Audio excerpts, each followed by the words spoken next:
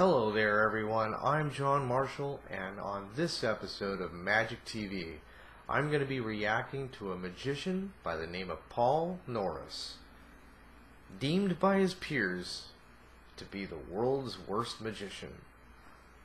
How bad could he be? Let's find out. Welcome back, everybody. I'm John Marshall. And if you're a first time viewer, please like and subscribe and hit that bell for future notifications of upcoming episodes. Alright, let's get right into this reaction. Like I said, he is deemed by his peers to be the world's worst magician. Paul Norris, everybody. Good evening. Now I'm going to show you a trick out of the disappearing out of Houdini's rope. The disappearing what of Houdini's rope?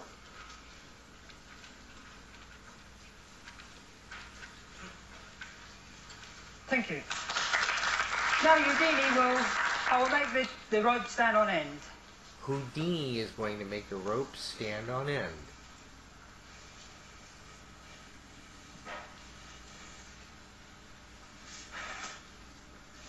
Thank you. Now for my next trick. This one is dis the disappearing cigarette. Here I have a cigarette holder. As you see, completely empty. Oh, now I'll get out pack the cigarettes.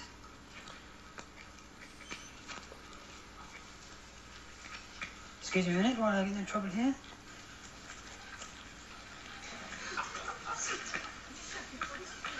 Here. One cigarette. Oh, I will place the cigarette inside.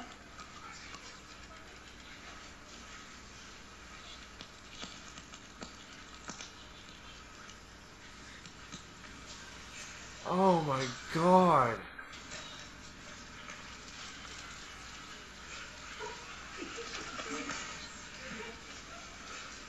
And here we are. Disappearing cigarette.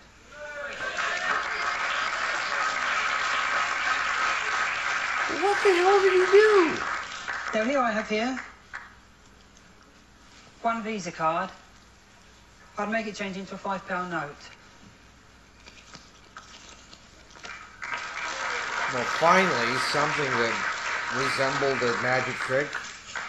And now for my last trick, I like to make a ten pound note disappear and return again. As you see, one piece of card.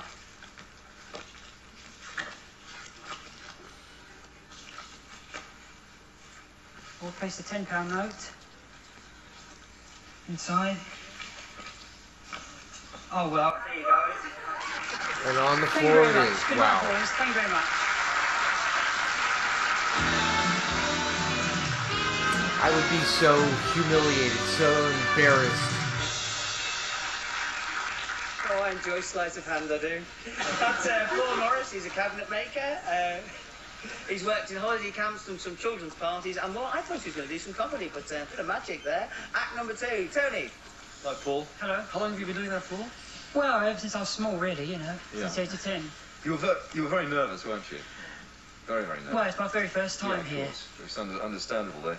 You need much more patter, and you need to prepare your props better because, I, I, to be honest with you, I, I think I'm right, Faith. I didn't understand what you did with the, the cigarette. It, I got so fascinated you couldn't get the cigarette out of the packet. I think is that right? Yes. Something went wrong there, did it? Well, a little bit, yes. Yeah. So uh, that trick. Didn't Well, that's the work. tricks of the trade. They all go wrong. There you go. The tricks of the trade, they all go wrong. No, I don't think so, dude. Oh, I see. I did, uh, 20 on that. 20 points from Tony. Got a lot of work to do on the act, my darling. Give me some points, please. As it stands, I can only give you 18. Phil. 18 points from Faith. They're generous. I would have given him maybe the two. That what you're saying? Yeah. That I was should never give horrible. up. I should keep going. That's brilliant. Give him a round of applause. Excellent. That's it. Yeah. You enjoy it, don't you? Yeah. Yeah, I enjoyed you as well, Paul. Excellent. Okay, 20 points from Tony, 18 from Make the Faith, makes a total of 38 points. Track number two.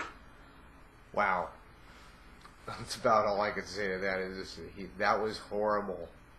That was like watching a train wreck happen. That, wow. I didn't know what eternity was till I saw that guy's act. Oh. Oh. The silence and the confusion of everybody just trying to figure out what the hell's going on. I mean, honestly, he kind of failed every bit of the the show. Every trick that he did, he failed, and he, and he did it on national television. oh my goodness gracious, that was that was brutal. That was brutal. You know, there are times as a magician myself that I feel that my act is getting stale and maybe it, it's not that good. But after seeing this guy's act, I really have a lot of hope. And uh, I want to say that my act is moving right along. Um, Paul Norris, I'm curious whether or not he's still performing magic or if he's still making cabinets. If you know, or Paul Norris, if you're watching and you can answer that question, leave a comment down below. Love to hear from you. Uh, love to hear your thoughts on that one. Um, oh, don't worry. On one of these shows, I'm going to go ahead and give a reaction to one of my uh, old shows. Believe me, they're brutal. But I don't think they're that brutal. They're brutal, but they're not that brutal. Um, oh, that was my show. I'm John Marshall. Thanks for joining us. See you next time.